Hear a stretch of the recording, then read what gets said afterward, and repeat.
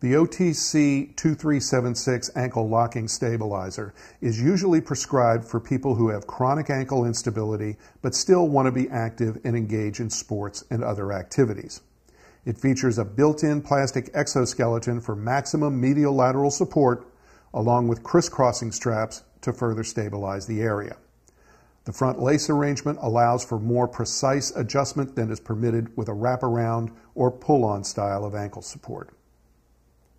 The product is customarily sized according to shoe size. Size charts are shown on the back panel of the product carton. After selecting the correct size, remove the support from the carton and unfasten the crisscrossing straps to open it up.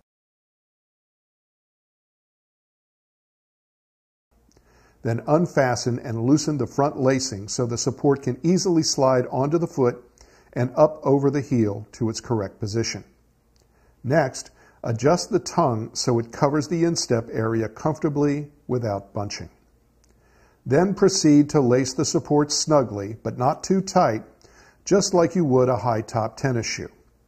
This support features grommets on the distal end and speed lace clips to make it easier to lace up the proximal end.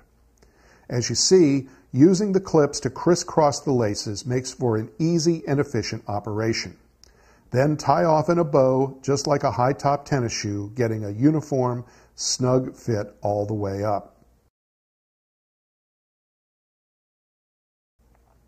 After the support has been laced up and tied, take one of the crisscrossing straps and pass it over the instep and then underneath the arch of the foot, and fasten it on the other side.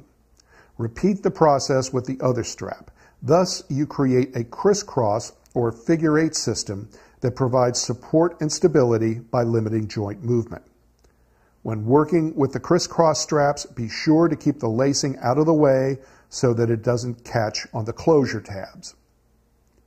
Once you have fastened the crisscross straps, show the patient how to grasp hold of the loops on either side of the straps and release them, pulling straight up for additional uplift and support. Then fasten them once again. After you are satisfied with the overall adjustment and positioning, have the patient stand and take a few careful steps to make sure the support is appropriate for the patient and that it is also fitted correctly. Once the fitting is complete, be sure to go over with the patient the laundering and care instructions that are found on the back panel of the product carton.